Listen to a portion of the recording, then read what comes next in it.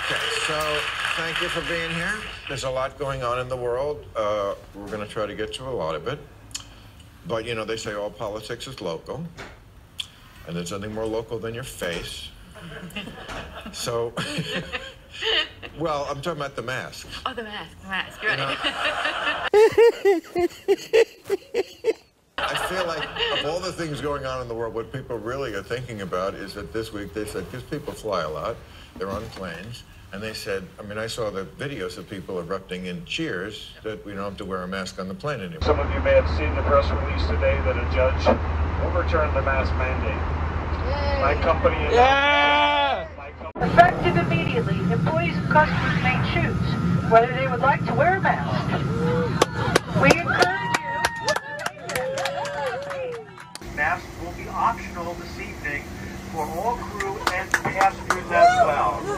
Masks now optional for employees, customers, following the White House. You know,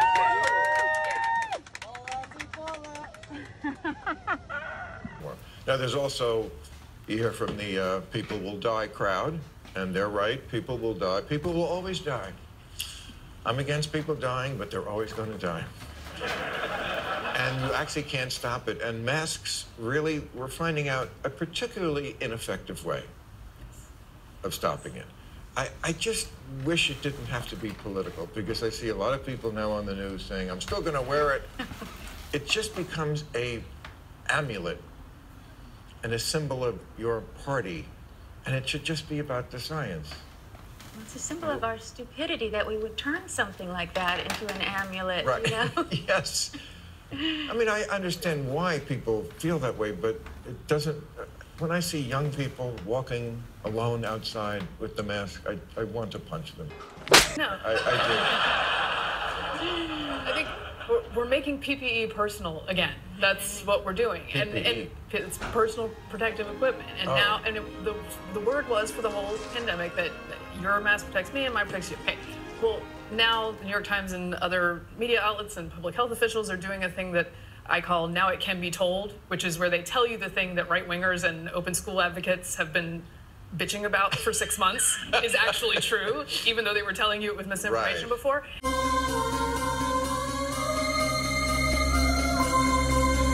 So your your mask, if you have a quality one, can protect you, um, and there is a limit to how long we can go before we modulate to a new form of living. We we have new tools, we have knowledge about this uh, virus, we have new ventilation systems. Thankfully, planes are good, um, and we have uh, we know that masks are a minimally helpful tool, but we told a lot of people they were maximally helpful, and that was a bad idea, especially for the vulnerable. But wouldn't they get it just when they said you don't have to wear it while you're eating? Yes. Wouldn't just that? Yeah. Or I see the basketball players playing, gouging each other's eyes out, and then they go to the bench and they put the mask on. Yeah. Uh, Saturday Night Live, they do the sketches, and then at the end when they say goodnight, they have the mask on. It's like, am I, am I what world But am I living in where people are not seeing this insanity? This, In the very, very beginning, even the CDC said, oh, you better not wear a mask because you'll trap the COVID close to your face and you'll die instantly that way. And I remember thinking, you know, because I've had cancer, and, and it's like whenever your counts are low, they say, oh, wear a mask, you'll be safer. And then they realized, oh, they were just lying. They were just trying to save the masks. Oops. You know, and it's, and then they're like, why have you lost faith in America's institutions? Well, because you lied to us at a really scary time, and we could have handled the truth. You can't handle the truth. you know, you know what I find so sad? I was at the mall. Well, that's sad. You at the Not- mall? Not alone. Okay. It's sad. I just, I was, we were off, we were off last week. I haven't been to a mall in a long time. I felt like the mermaid from Splash. This is it! It's Crazy Eddie's greatest clearance sale ever! Crazy Eddie's soul-lashing prices on specially marked items in his enormous inventory! Stereo equipment, video equipment, color TVs, car stereos, CDs, telephone equipment, disco equipment, and professional products. Like, I, I, I didn't know. I literally didn't know how to buy something. I was like, can you just take cash? I'm old and rich. Here, just take the cash. I can't figure this out. It was very sad. But, like, what was really sad, this is uh, the Century City Mall here. A lot of us outside. The only people wearing masks were like 20. That's who is wearing the mask. The people least likely to die from it. Right. They feel like they have been indoctrinated in a way that the only people less likely are the toddlers, right? Right. Uh, who we mask uh, incessantly. I know. I think at the beginning of the pandemic, the word was uh, "stay safe, stay home." Okay, well, that's a very simple uh, public health message, but it actually discouraged and even demonized your rational risk analysis for yourself, which is something that we have to be engaged in. Um, we have to decide, okay, well, what is my risk level? Two year olds don't have the same risk level as 88 year olds. That's just not true. Being indoors doesn't have the same risk level as being outdoors, but we did seemingly all the opposite things, which is get the kids out of school who are least vulnerable, hurt them that way, close the parks and the hiking trails, which is a thing that we did, um, and then have indoor outdoor spaces to eat that are actually just indoor again.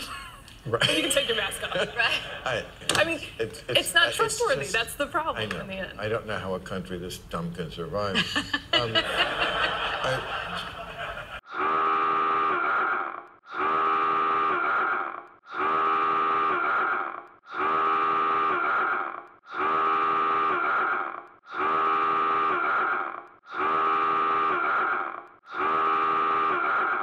I It shows this- how great we are, really, that we can be this dumb and we're here. We're and we're the yeah. top. we survived. You're saying the competition is thin. It is. It's true. But also, when I saw the kids with the masks, all I could think of is anxiety. And Yes. then right on cue, I'm reading Jonathan Haidt's new article about why we have this levels of anxiety among teenagers that is just off the charts. Now, this is what I read. 44% of high school students said they felt sad or hopeless. Now, little perspective. All my year 17, I was sad and hopeless because I got dumped. Right. And oh. you know, when you're a kid, you don't see anything coming, and everything is the worst thing that could ever. So some of that is that. Right. When you're a teenager, you're going to be sad and hopeless all the time. I hate everything. Everyone's going crazy. I don't care if I have no friends. Are you still upset about Lost? Of course I'm upset about Lost. You guys took away my shit before I could watch the last two episodes. I don't know what the fuck happened.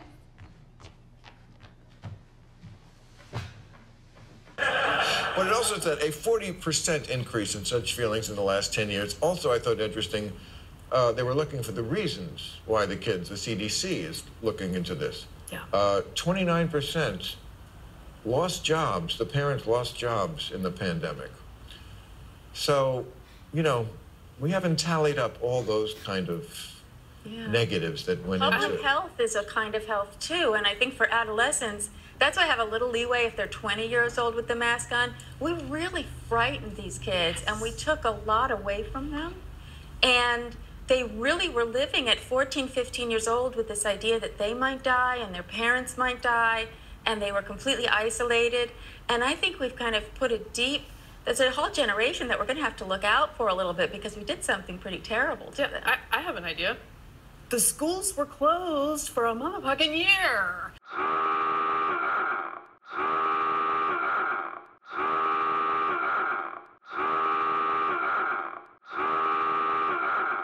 In all the major blue cities, they were closed for a year to in person learning. Kids lost structure, they lost friends, they lost all their extracurriculars, sports, things that made them healthier, places of worship, uh, things they could do with their family. They lost all those things.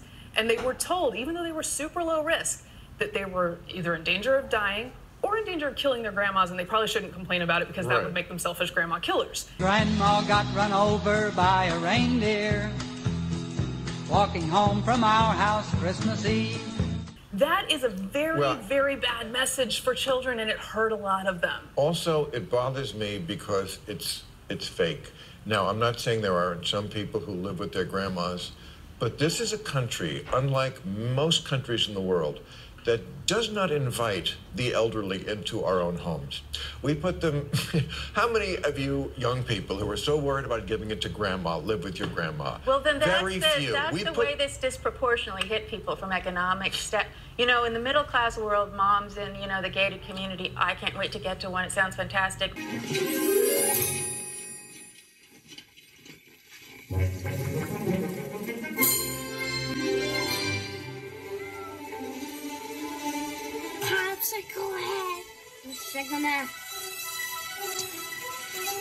But I think there are a lot of lower income, doesn't it? You know, just get it really, um, meals are taken care of.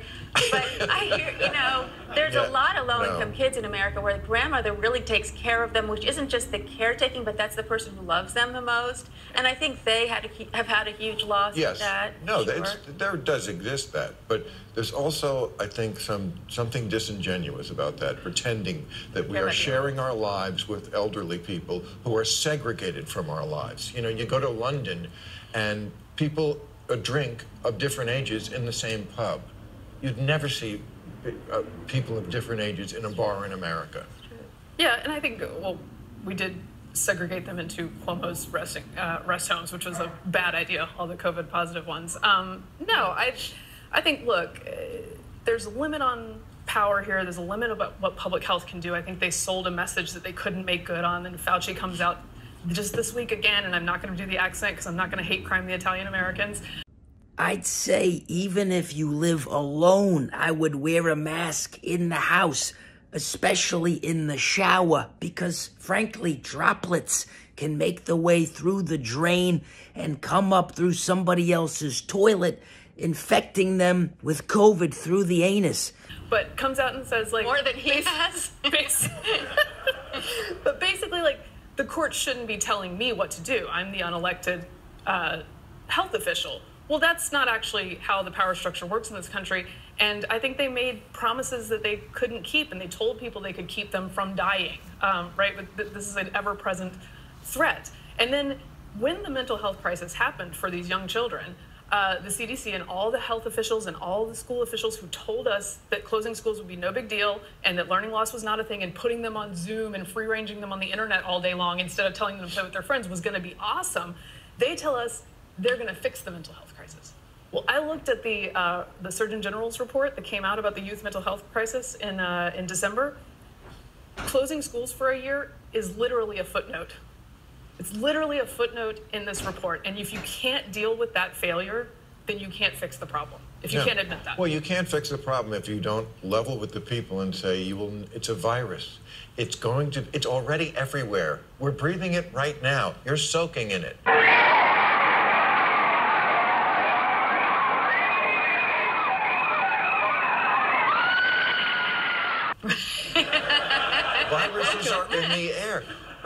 To win this battle internally. I think a lot of You the problem was wi- it started with Trump and he was just up there lying so Yes, much, and we of all got course. this sense that he's not telling us the truth. And the people who seemed more sincere were the ones who weren't saying that it was going to be over by Easter. Right. And you had one or the other to believe in, and we just kind of followed in that tradition and ended up where we did. Yes. And I think that it was fine to believe that at the beginning and then to shift. But we, Right. the shifting was the part that couldn't happen. And a lot of people, it couldn't happen because Orange Man Bad, Bad was saying the opposite Right. thing. And so they couldn't get on board with that. It's always that.